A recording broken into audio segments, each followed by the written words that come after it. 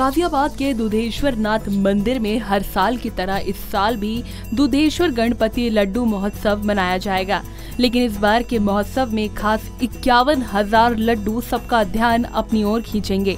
दरअसल विशेष महाभोग के लिए इक्यावन हज़ार लड्डू बनाने की तैयारियाँ शुरू हो चुकी हैं। लड्डुओं को बनाने के लिए राजस्थान और दिल्ली से करीब 30 लोगों को बुलाया गया है। सभी दिन रात एक कर लड्डू बनाने में जुट गए हैं।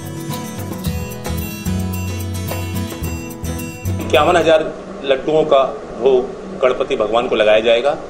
फिरती दिन हम लोग एक हज़ार एक लड्डू का भोग उनको लगाएँगे और एक तारीख को हम गणेश जी का विसर्जन करेंगे। दुधेश्वर मंदिर में 25 अगस्त से 31 अगस्त तक भगवान गणेश की पूजा अर्चना की जाएगी, जिसके बाद 1 सितंबर को विशाल शोभा यात्रा निकाली जाएगी, जिसमें अलग अलग क्षेत्रों के कलाकार अपनी कला से भक्तों का मनोरंजन करेंगे।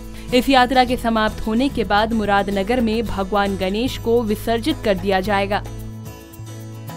News bureau.